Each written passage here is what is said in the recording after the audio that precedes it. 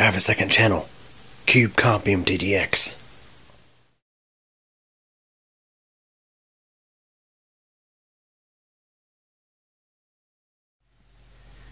Hey everybody, here we have this FSP model FSP 300-60 THA parentheses 1 power supply.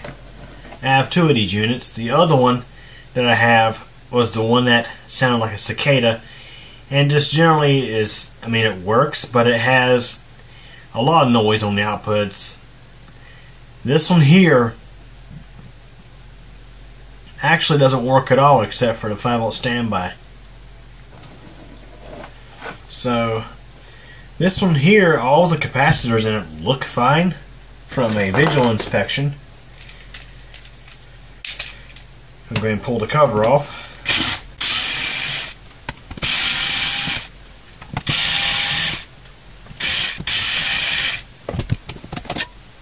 Now, I should note, um, use caution when working inside of uh, power supply units.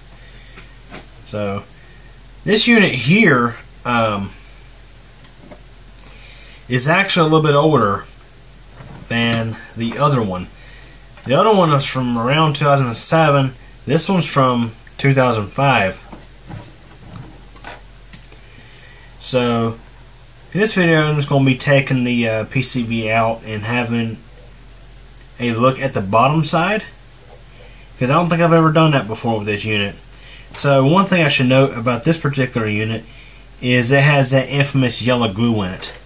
But they, uh, whoever put this unit together, did not get overly excessive with the glue, and they kept the glue for the most part off of HV components. Now, I mean, there is some over here in this area, but it seems like um, the glue isn't much of an issue unless it's on a component or an area that gets hot because once the glue gets hot over time it starts to darken and get conductive.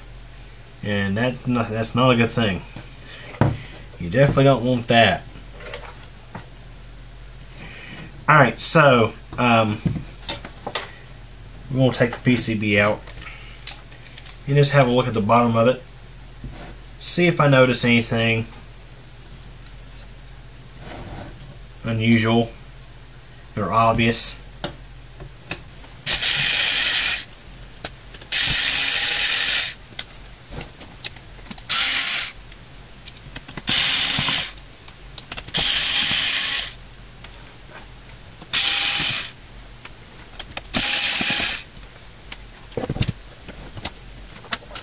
So one of the reasons why I want to have a, have a look at the bottom of the PCB is because sometimes you may discover something you didn't see from the top side. Like for example with the Bestec HX312Z I fixed pretty recently. From the top side, there was no obvious problems, but when you flipped over and looked at the bottom side, there was a burnt out, there was a uh, trace that got damaged and it so happened to be one that fed the uh,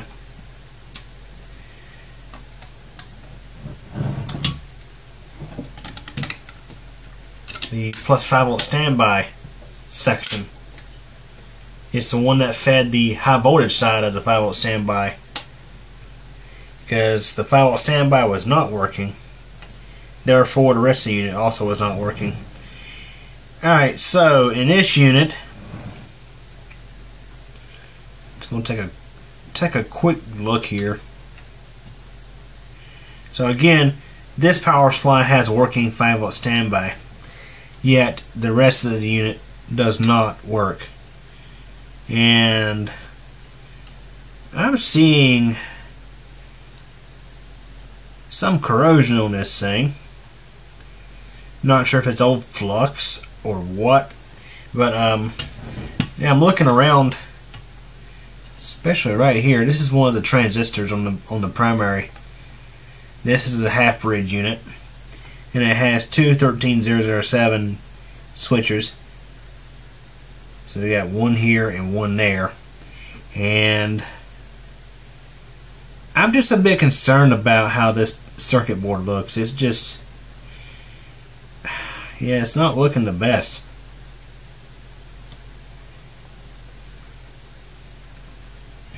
I'm gonna say it could be it could be salvaged. Probably have to clean it up a little bit.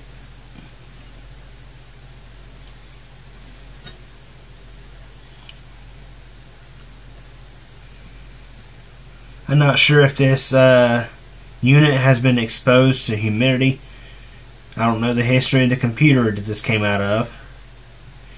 But especially like right in this area. Makes me a little concerned. It's like maybe something could have shorted out, but I would say if something shorted out, it would look noticeably worse. Now, usually, I want to say that when the primary switchers fail, sometimes it will actually, uh, of course, blow the fuse in the unit, therefore disabling the entire unit. But if you had something like that, you would have a much more noticeable um, damage spot in the uh, circuit board because then we're dealing with a with an arc flash of over 300 volt DC. So obviously the fuse is intact on this unit because the 5 volt standby works.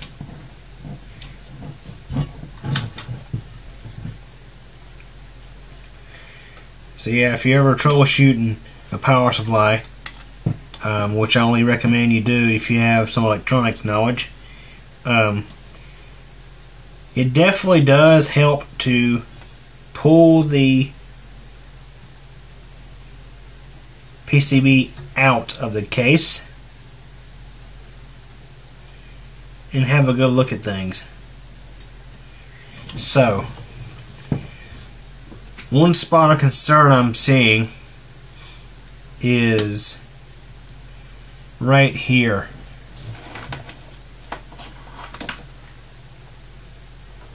I mean, you can see how dirty or corroded that is. So, that's the uh, emitter base and collector of that transistor. And I don't know if perhaps something has gotten bridged there before. Hard to tell.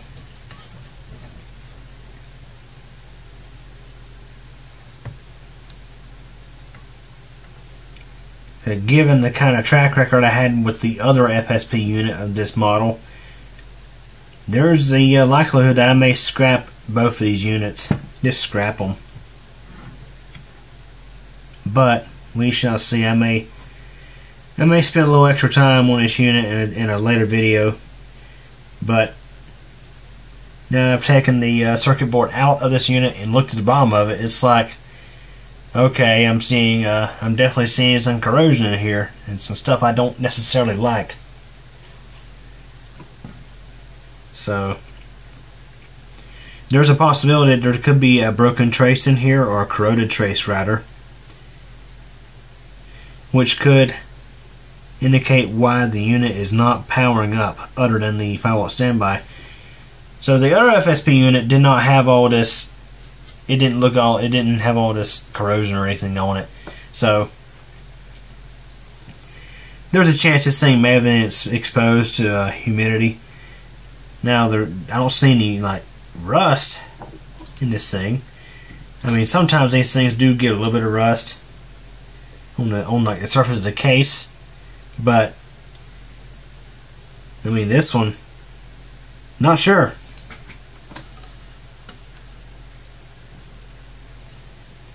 I want to say everything in this section, the high voltage section, is fine. It's just, it could be perhaps be something to do with the switchers. Or something over on the low voltage side. It could be why this thing ain't working. So anyways, I'm going to go ahead and cut it for this video. Um, I just want to pull the uh, PCB out real quick and have a look at this thing and I'm not exactly pleased with what I'm seeing. So, this may be another unit to scrap, who knows. So anyways, hope you enjoyed this video. Thanks for watching.